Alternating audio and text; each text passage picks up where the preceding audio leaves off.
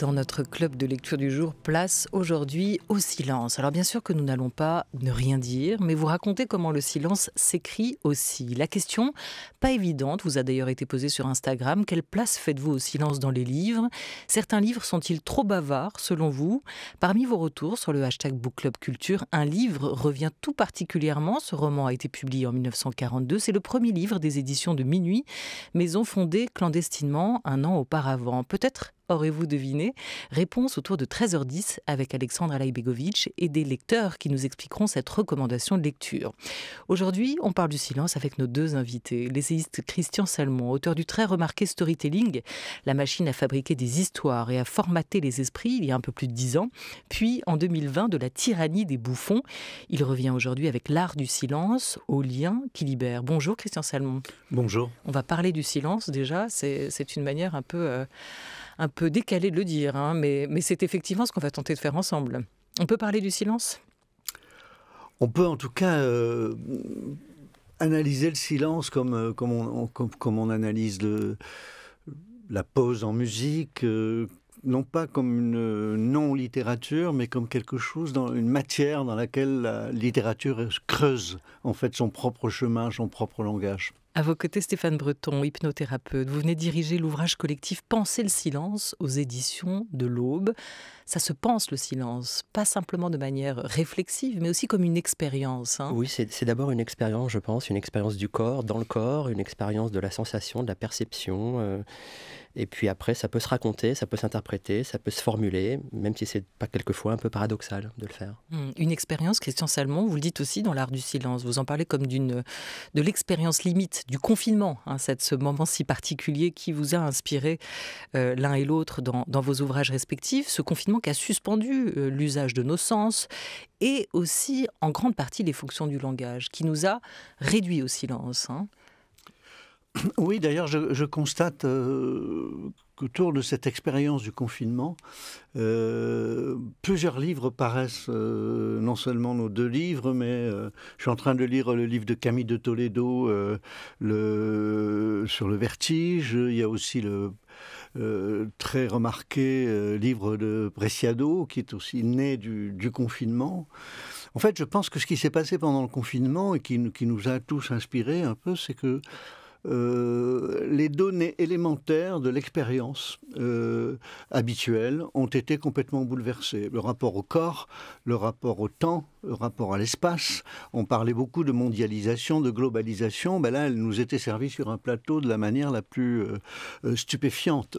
Et, en tout cas, pour moi, ça a été un, moment très important de, de, dépasser justement la critique des usages codifiés de pensée, des histoires qu'on nous raconte, de la propagande, etc., et de me retourner vers la littérature, qui était mon premier amour en fait, euh, parce que c'est dans la littérature, c'est dans les œuvres de Kafka, de Conrad, de tous les auteurs dont je parle dans le livre, que j'ai pu m'approcher de cette expérience de la sidération. C'est-à-dire que le silence n'est pas du tout une, réduction euh, euh, au silence, mais c'est un, comment dire, une, deuxième, une deuxième manière de, pratiquer la langue, de sortir des manières codifiées de penser pour aborder l'expérience humaine d'une manière inédite. Et c'est au cœur de l'expérience des écrivains dont je parle. Stéphane euh, Breton, cette euh, réflexion, cette idée de penser le silence est repartie aussi de cette expérience que fut le, confinement, il y a trois ans hein, presque déjà.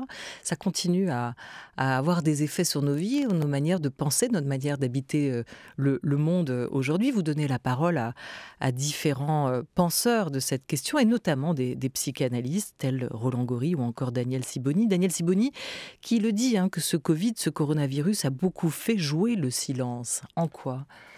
Écoutez, je pense que ce confinement, ça a été un surgissement d'un silence collectif, mais aussi d'un silence individuel. C'est-à-dire ce qui était disponible là remonte tranquillement et fait apparaître d'autres modalités d'être au monde et à soi-même, à ce qu'on pense, à l'acte créatif, euh, à l'acte thérapeutique. Et donc c'est une manière euh, de colorer autrement euh, son monde et son rapport à, l'existence. Donc je définirais un peu le silence comme une forme de, surgissement existentiel qui vous permet de vous, de vous rafraîchir, de vous nettoyé d'une certaine manière. effectivement, il peut être à la fois coloré, j'allais dire, de manière menaçante, angoissante, mais il est aussi créatif et il sous-tend l'acte thérapeutique, l'acte pictural, l'acte musical, l'acte littéraire. Il y a des silences qui encore aujourd'hui nous paraissent étrange, difficile à appréhender en tout cas. D'où notre envie de vous inscrire tous les deux et, ce club de lecture dans notre programmation spéciale, l'étrange Noël de France Culture. Cet étrange Noël, on va l'ouvrir avec euh, des écrivains. L'étrange Noël des écrivains, chaque jour des autrices et des auteurs nous donnent d'inquiétants conseils de lecture pour passer un étrange Noël. Aujourd'hui, l'autrice du euh, Au vent mauvais, roman paru au Seuil, Kauter Adimi, la toute nouvelle lauréate du prix du roman des étudiants France Culture Télérama, son conseil, un livre de l'écrivain et anthropologue Amara Lakaous, né en Kabylie et installée aujourd'hui à Rome, où la romancière algérienne Kauter Adimé a été elle-même pensionnaire de la Villa Médicis. Elle nous dit pourquoi cette lecture l'a tant marquée.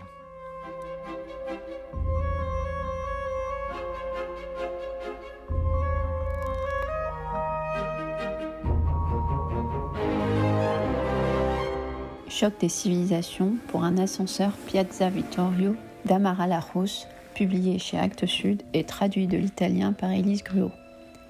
Dans un quartier multiethnique du centre de Rome, Piazza Vittorio, le corps d'un homme est retrouvé dans l'ascenseur de son immeuble. Pas de quoi réellement émouvoir le voisinage, la victime, surnommée le gladiateur, était haïe de tous. C'était un homme violent et raciste, et chacun de ses voisins semble avoir une bonne raison de lui en vouloir. Mais pour le commissaire en charge de l'enquête, le coupable est tout désigné. Le jour même de l'assassinat, l'un des voisins a disparu. Il s'agit d'Amédéo, qui en plus d'avoir pris la fuite, cache bien des secrets. À commencer par son nom, qui n'est pas Amédéo, mais Ahmed. Vous inquiétez pas, je ne vous dévoile pas l'intrigue. Au fur et à mesure que l'enquête avance, les langues se délient, et à chaque étage, dans chaque appartement, on se raconte et on livre sa vérité. Et en écho à toutes ces histoires romaines, les hurlements d'Ahmed viennent nous éclairer sur son histoire l'Italie et l'Algérie, l'immigration et la guerre civile. Une enquête comme une comédie italienne, mais une comédie grinçante, troublante, désespérante, où la peur de l'autre mène à tous les excès.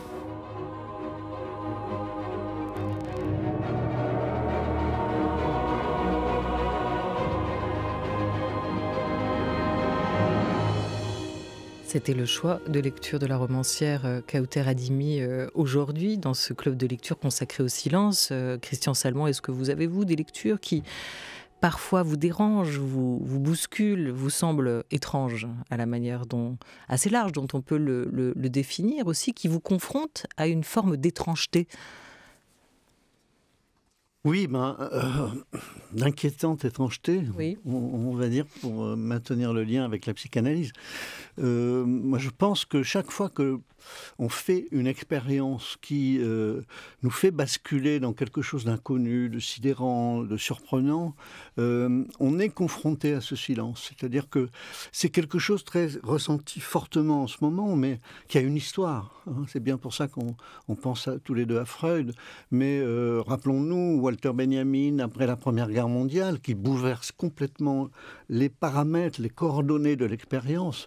Euh, une guerre euh, qui détruit même la notion, euh, les notions habituelles qu'on avait de la guerre. Walter Benjamin dit les combattants revenus du front étaient plus pauvres en expérience communicable, donc plus silencieux. Et c'est la même chose avec la Deuxième Guerre mondiale, Adorno qui dit la vie s'est transformée en une suite intemporelle de chocs. Aujourd'hui, avec l'hypercrise que nous traversons, qui est non seulement sanitaire, mais économique, géostratégique, euh, on, est confronté à une expérience qui sort du cadre de, nos habitudes. Hein. Et donc le, silence se répand parce que précisément on ne sait pas comment répondre.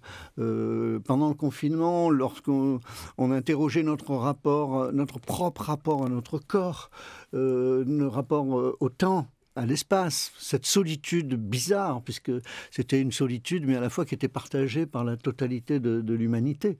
On, me rappelle, moi, pendant le confinement, je pouvais converser avec des amis en Amérique latine et en toutes sortes d'endroits. Donc, expérience paradoxale de solitude partagée. Et en même temps, la conversation est devenue mondiale. Exactement. Exactement. Et là encore, on, peut trouver des éléments d'analyse, de, des, manières de s'approcher de cette expérience euh, surprenante de la sidération par les écrivains. par exemple Kafka qui disait je voudrais écrire l'histoire mondiale de mon âme. Ce rapport entre l'intime et le, mondial, euh, Kafka l'a pensé, euh, et puis toutes sortes d'auteurs. Hein, euh, donc la littérature est au fond, d'une certaine manière, confrontée au défi un défi narratif. Comment raconter ce qui n'est pas racontable? Comment euh, euh, sortir du silence? Comment envisager euh, ce qui nous entoure comme quelque chose qu'on peut appréhender par l'oreille plutôt que par le plutôt que par l'esprit. Hein. C'est ce que j'appelle les écrivains acousticiens, euh, qui sont capables de percevoir, comme les, ces animaux qui, prévoient un peu l'essayisme et les grandes catastrophes. Euh, ben, les écrivains sont ces animaux-là, hein, qui, sont, qui sont capables d'entendre des signes que nous ne sommes pas forcément euh, capables de recevoir. Stéphane Breton, vous leur donnez la parole aux écrivains aussi dans, ce livre, cet ouvrage collectif, Penser le silence, en nous rappelant, vous, vous le citiez à l'instant, que le silence précède souvent la, création. Est-ce que vous constatez, euh, comme Christian Salmon, une même crise de la narration? Christian Salmon qui cite Walter Benjamin, nous sommes devenus des citoyens d'un monde sans récit. Est-ce qu'on est face à cela aujourd'hui? Pense qu'on est d'abord euh, dans un monde où il y a trop de récits, c'est-à-dire que le, récit devient un commentaire ou le commentaire est un récit. Euh, et dans ces cas-là, c'est le problème du sens, c'est-à-dire de la signification et de l'orientation que peut avoir ce, discours-là. Euh, l'avantage du silence, c'est que ça précède le discours, que ça vous met dans un état un peu de suspension qui permet d'accueillir un certain nombre de choses et de renouveler potentiellement ce discours. il ne sera pas forcément ultra créatif et tout le temps neuf, mais il a cette possibilité-là de, de se renouveler. il est vrai que dans une société hyper médiatique, le commentaire, le récit qui se répète. Et là, ça me fait penser un peu à l'œuvre de François Roustan qui luttait, euh, enfin qui luttait, qui soulignait euh, l'importance de, mettre fin à la plainte et de jamais être contre d'abord. Euh, c'est vraiment ça, c'est-à-dire laisser le flux, une forme de lâcher prise, et ce silence permet ce lâcher prise. Il s'agit, en fait de lâcher prise, mais c'est pas la personne qui, lâche prise, c'est l'environnement qui lui permet de le faire en fait. C'est-à-dire, elle coule dans le flot, et à ce moment-là, quelque chose peut se renouveler, et éventuellement le discours sur ceux dont on ne peut parler, il faut garder le silence, hein, ou ceux dont on peut parler, il faut le taire. C'est Wittgenstein. Exactement. Ça va avec ce que vous dites. Trop de récits. Oui, trop de récits, trop de silence serait nécessaire. Oui, exactement. Mais est-ce qu'on n'est pas en panne aussi de, de récits qui nous portent collectivement Dans ce, dans ce fatras de récits, est-ce qu'il ne manque pas aussi des, des bons récits, des récits collectifs?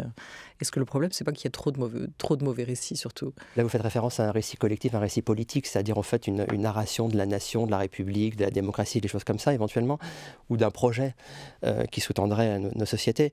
Euh, oui, je pense que ça, tout le monde peut le ressentir, euh, à l'échelle individuelle, à l'échelle de petits groupes dans lesquels on, peut être. je n'ai pas de, solution miracle sur comment réactiver un, récit national. en revanche, peut-être se poser la question de ce qu'on a à dire, comment on le dit et pourquoi. C'est vraiment la question du sens là. Qu'est-ce que ça veut dire d'être ensemble? Oui, c'est une bonne question.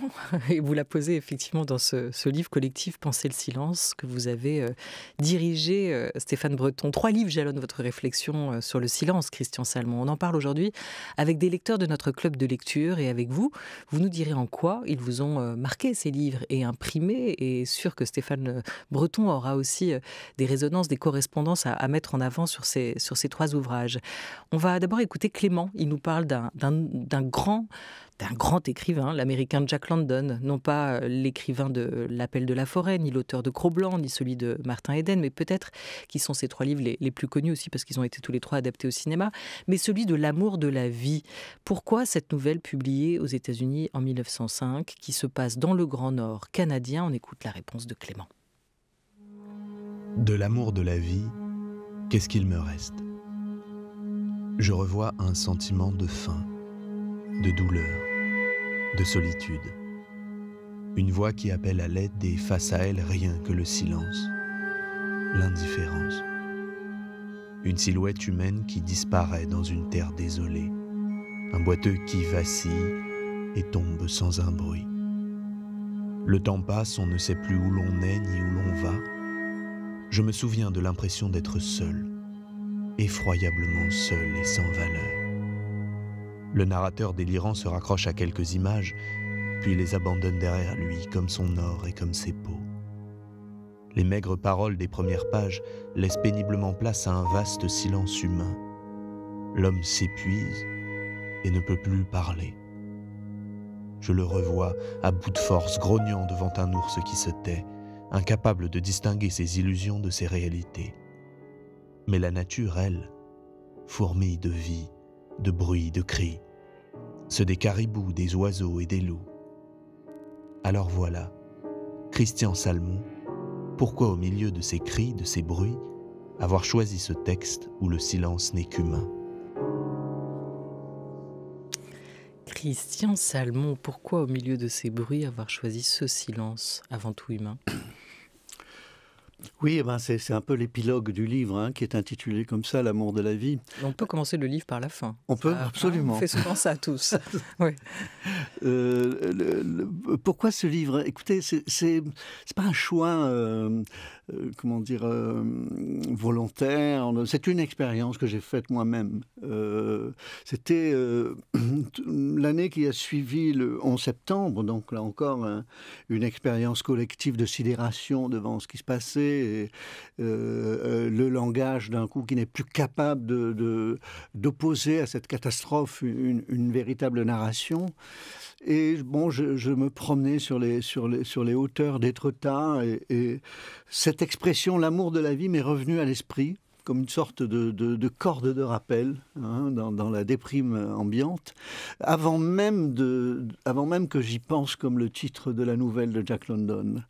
Et c'est au fur et à mesure de, de, me répéter cette formule, un peu comme, un, euh, comme une incantation, euh, une réponse à la catastrophe, euh, que je me suis souvenu que un de mes amis, Robert Linhart, qui lui-même a traversé toute sa vie cette expérience du silence, puisqu'il n'écrit plus depuis des années, euh, m'avait parlé de cette nouvelle en me disant bah, Toi qui aimes Jack London, euh, tu devrais lire, c'est sa meilleure nouvelle. Et puis j'ai découvert que Lénine lui-même, à la fin de sa vie, alors qu'il était paralysé, et Robert Linhart en parlait dans son livre Lénine, les paysans Taylor, refusait de communiquer avec quiconque et se faisait lire simplement par son épouse cette nouvelle, L'amour de la vie, qui sans doute, ce, personnage perdu évoquait pour lui le destin de cette révolution égarée, donc on est dans les années 22.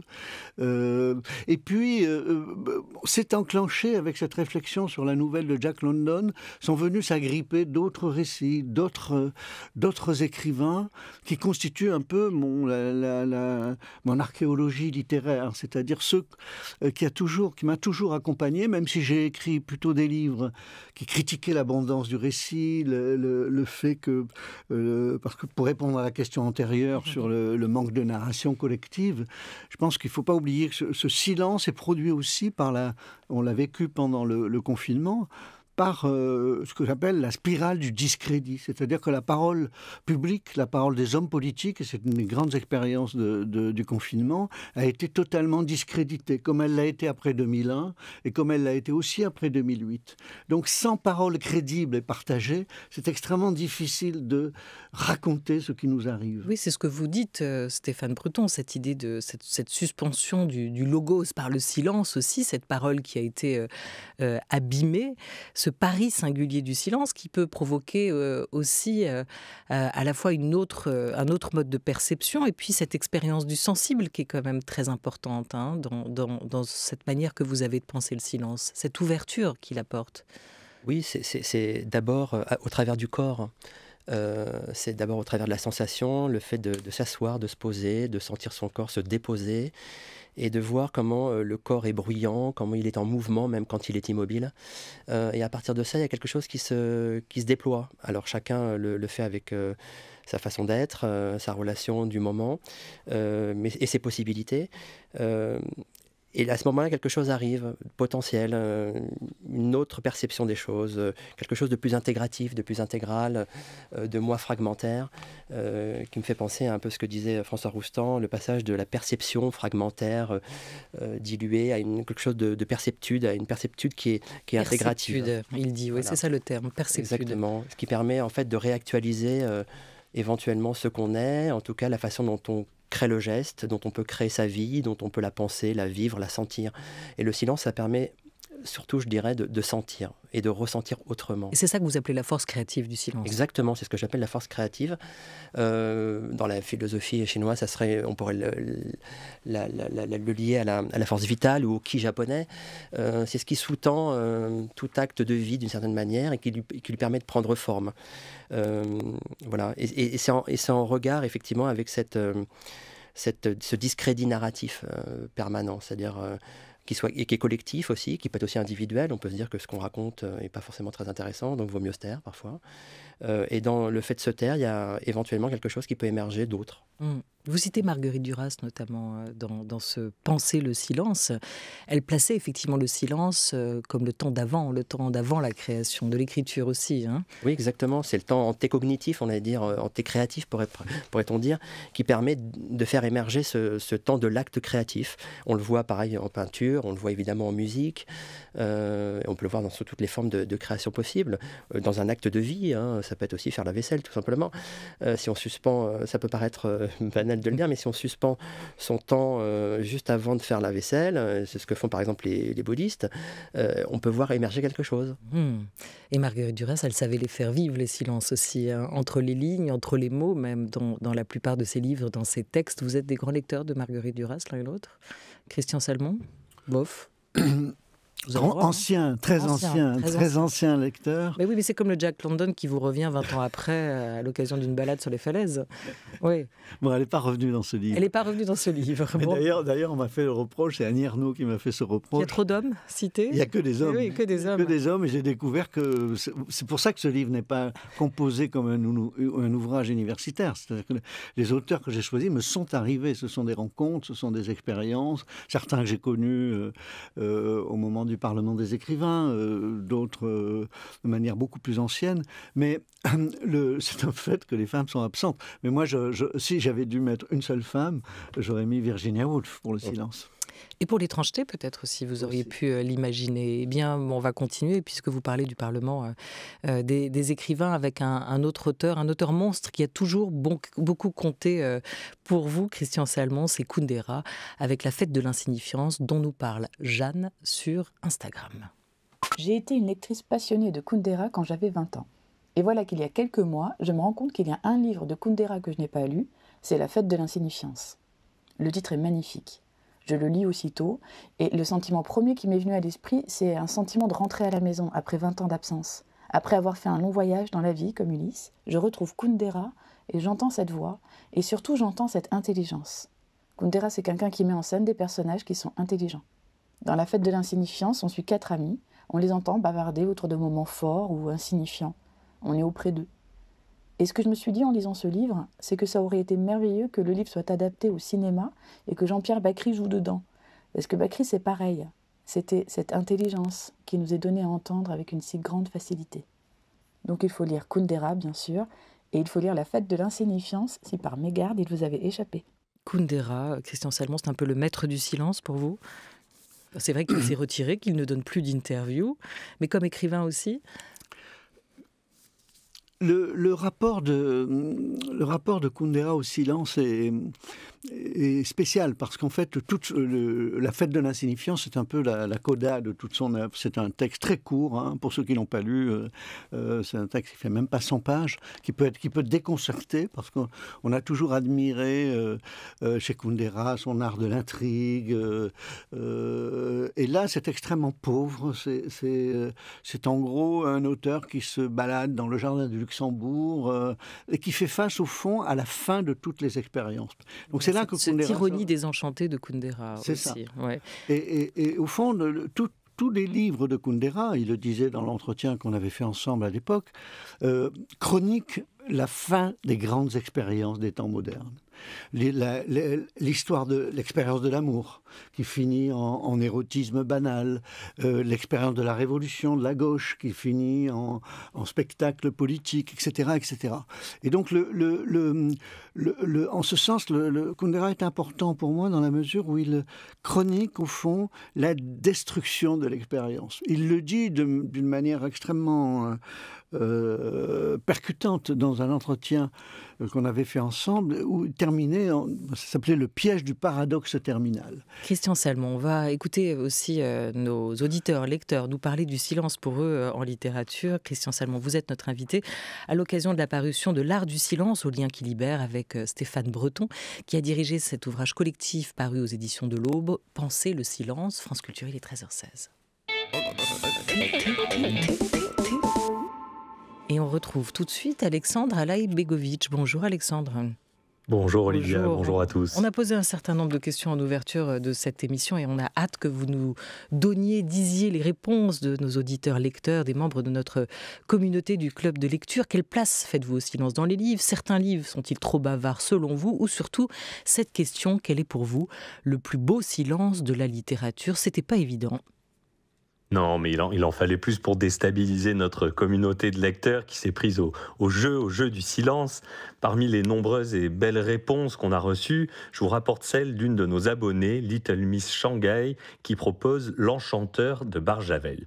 L'Enchanteur, c'est un roman publié en 1984, au sein duquel le lecteur tombe subitement sur une page blanche. Sur cette page, Barjavel écrit ces quelques mots en lettres capitales, j'ouvre les guillemets, à l'intérieur de cette page blanche, Genièvre et Lancelot s'aiment. Alors, en ne le disant pas, ou si peu, je crois que Barjavel a tout dit. Stéphane Breton, Christian Salmon, vous êtes avec nous. Vous êtes aujourd'hui membre à part entière de notre book club. On vous la pose donc à vous aussi cette question. Est-ce qu'il y a un grand moment de silence dans la littérature auquel vous pensez? Stéphane Breton.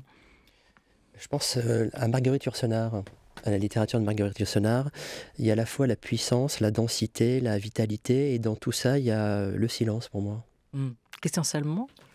Moi, je ferai référence à l'œuvre dont on n'a pas encore parlé de Enrique Villamatas, euh, qui euh, a construit toute son œuvre depuis son premier livre euh, chez Christian Bourgois, euh, Bartleby et compagnie, sur la figure de Bartleby. Donc, je rappelle le, héros de Melville, qui est un greffier et qui refuse, avec cette expression, cette formule qui, est devenue célèbre. J'aimerais mieux pas, je préférerais pas, ne pas.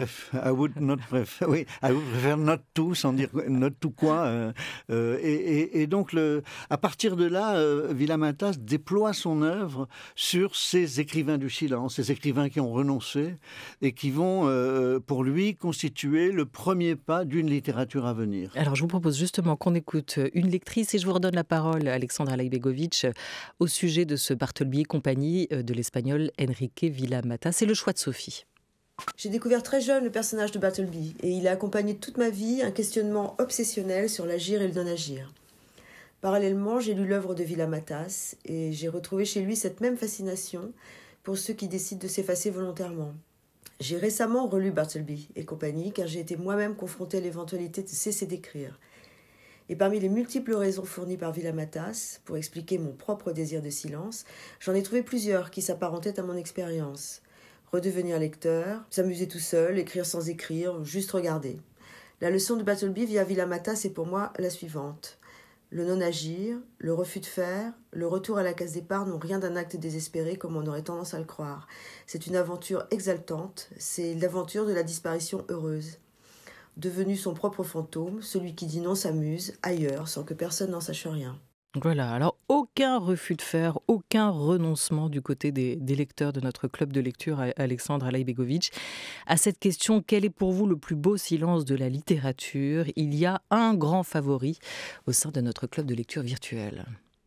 Oui, bah c'est la, belle surprise. On adore quand des choses comme ça se, passent au book club. C'est une, convergence de, recommandations sur un même livre et sur un grand nom, un autre grand nom de la littérature française du XXe siècle, c'est Vercors. Donc la, la majorité a parlé. C'est le silence de la mer qui est le plus beau silence de la littérature du book club. Ghislaine alias Squirelito, Mélanie et Amélie alias Ego Lector nous parlent de ce classique de Vercors. Pour moi, le plus puissant silence en littérature est le silence de la mer de Vercors. Ce silence face à l'ennemi, puissant, dévastateur, qui ne dit mot, résiste, Le silence est une arme, une arme de destruction psychologique et qui coûte également à l'oncle et à sa nièce tant ils ont envie de le rompre. Je l'ai lu à l'école et j'en ai gardé un souvenir marquant. C'était, je crois, ma première rencontre en littérature avec la Seconde Guerre mondiale et l'occupation nazie. Cette confrontation entre un officier allemand francophile et les propriétaires d'une maison réquisitionnée reste un moment de lecture très fort. Le silence devient un mécanisme dans cette nouvelle puisque c'est le choix de l'acte de parole ou de l'absence de cet acte qui fait avancer l'intrigue. Il n'y a alors qu'un pas entre le silence des personnages dans un roman et le silence de l'auteur lui-même. En effet, si la nécessité est à l'origine de tout acte créateur, alors le silence signifie la fin de cette nécessité, comme pour Rimbaud, qui se tue à tout juste 20 ans d'ailleurs. Voilà. Alors cette nouvelle, dont la, publication clandestine, vous l'avez dit, Olivier, en début d'émission, en 1942, marque aussi la naissance des éditions de, Minuit. C'est vraiment un des textes phares de la résistance française. Comme nous l'ont dit nos lectrices, le roman met en scène, la nouvelle met en scène un homme et sa nièce contraints d'héberger chez eux un officier allemand. Et tout au long de la nouvelle, cet officier va tenter de nouer le dialogue avec ses hôtes, mais il va se heurter à leur silence obstiné, un silence qui lui oppose en signe de, de résistance. On a entendu notre lectrice Amélie faire une subtile référence à la fin de son intervention à, Rimbaud. Je rebondis là-dessus. Christian Salmon, Stéphane Breton, quel regard portez-vous sur cet effacement de, de Rimbaud? Rimbaud a-t-il alors cessé d'être poète ou a-t-il pu continuer de l'être d'une autre façon dans son silence? Stéphane Breton sur cette question du renoncement. Euh, pour moi, le silence, c'est pas le renoncement. C'est une forme de, de, création, c'est-à-dire qu'on renonce à rien. Peut-être on, suspend son logos et on crée quelque chose. Et la poésie, euh, elle y contribue évidemment. Alors, le poète, même mort, euh, porte toujours sa poésie et les lecteurs le, le font à sa place. la poésie s'arrête jamais, même quand le poète n'écrit pas. Alors Baptiste Trottignon nous parle dans votre livre de choisir le, silence et, Jean Alouche cite en ouverture de cette réflexion collective ces mots de Pascal Quignard qui sont absolument géniaux. Ne vous trompez pas de silence. Hein. Oui, exactement. Euh, de toute façon, chacun a le sien. Euh, quand on apprend à apprivoiser le silence, à le sentir, euh, même si on peut jamais en faire une chose, euh, on, a une relation qui devient familière, qui devient proche, et petit à petit, il y a une forme de subtilité. Donc, on, sent quelle couleur, quelle modalité peut avoir le silence, et en apprenant ça, on trouve toujours son, propre silence. Voilà, puis on dit toujours quelque chose, Christian Salmon, à travers ces silences. Hein. on écrit quelque chose.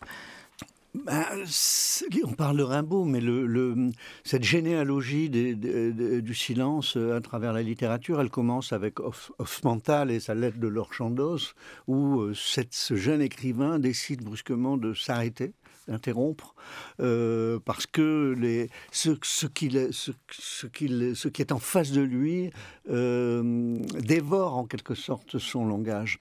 Et on a comme ça toute une généalogie d'auteurs. Il euh, faut penser à Tolstoï, qui est quand même un, romancier plutôt prolixe, qui s'exprime, qui, qui, éclate dans son journal, je crois au moment des années 70, 1870, qui, dit, qui écrit Tais-toi tais-toi, et tais-toi.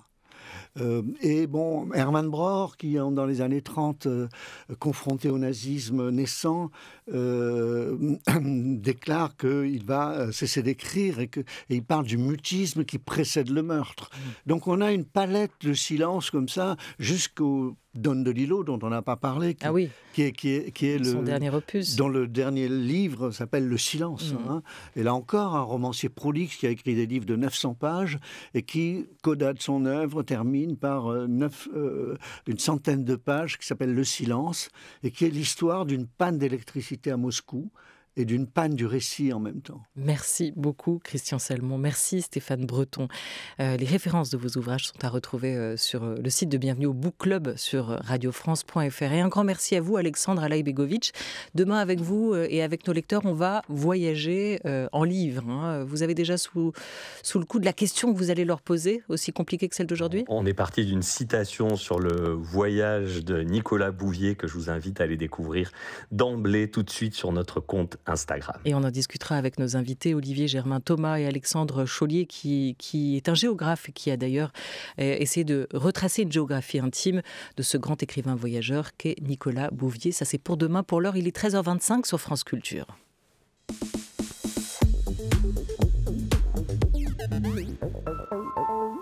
C'est l'heure pour nous, comme chaque jour, du lundi au jeudi, de retrouver Charles Dantzig avec les enfants sages, ou plutôt passage en fait de la littérature, les enfants impossibles, troisième volet. En 1928, Roger Vitrac a donné ce qui est sans doute sa meilleure pièce, et si différente des autres par la fulgurance qui la traverse, que je me demande s'il s'est bien rendu compte de ce qu'il écrivait.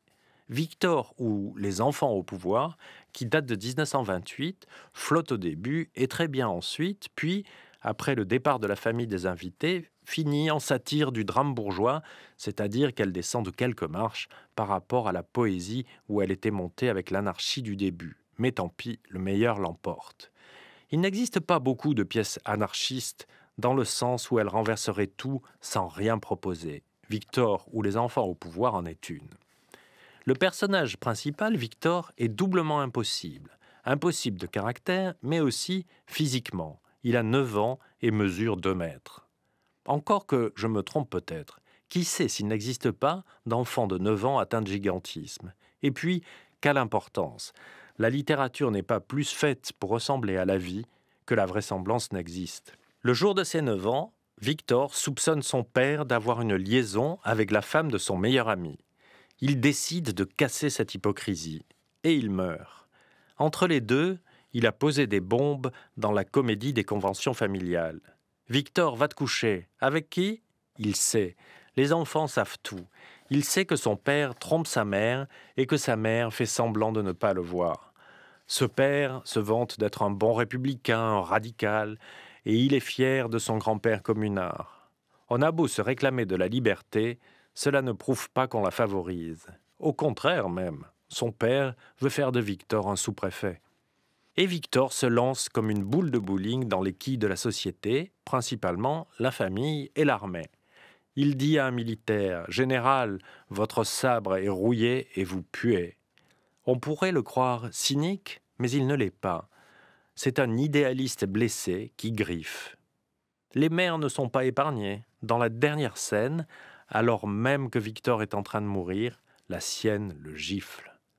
En mourant, il emporte les autres dans sa destruction. Tout est renversé, à commencer par lui. Victor est fils unique. C'est un personnage unique. À la fin de la pièce, il meurt, et donc, cela veut dire que toute anarchie possible meurt aussi. Est-ce qu'au fond, ce ne serait pas une pièce non sur l'enfance, non contre la famille, mais sur la condition du génie?